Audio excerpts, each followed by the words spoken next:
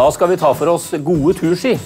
Det er mange som liker å gå koselige skiturer, bruke god tid og ønske stabile turski. Ja, og en eh, turski den eh, skal da være 25 cm lengre enn kroppslengde, cirka. Og den er jo som regel litt bredere, og den er, har litt, med, litt innsving og er god og stødig. Lett å svinge med og lett å gå med. Men eh, nå når vi har fått hjelp til å finne riktig ski, da må vi finne riktig smøresone.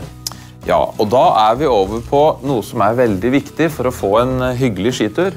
Røbb opp skiene fra helsonen, altså ved hælen, og eh, 30-40 cm foran bindingen. Så hele dette feltet må røbbes opp med et fint sandpapir. Om det er 80, 90, 100 eller 120, det er ikke så veldig farlig. Bare det er et fint eh, sandpapir, gjerne 120, så røbler dere det opp. Og da har du et bra underlag for eh, å legge smørning. Ja, det var fase én. Da skal vi vel legge litt festevoks.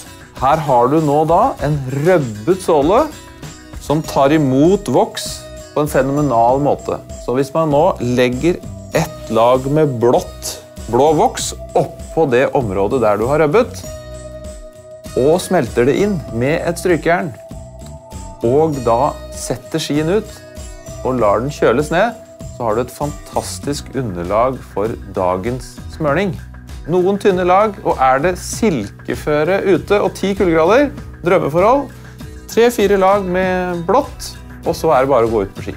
Og hvis man da har fortsatt har litt dårlig feste når man kommer ut, hva skal man gjøre da? Ja, Det er alltid lurt å ha med seg en kork og en skismørning i lomma.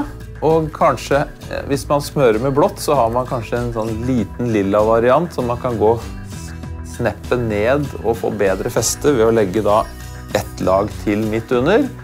Men begynn gjerne med et par lag til med den blå, og, eller ett lag mykere. Eh, Så at man har med en eller to skismørninger, er alltid lurt. Da skulle alt være klart da, for en herlig tur på riktige turski. God tur! God tur!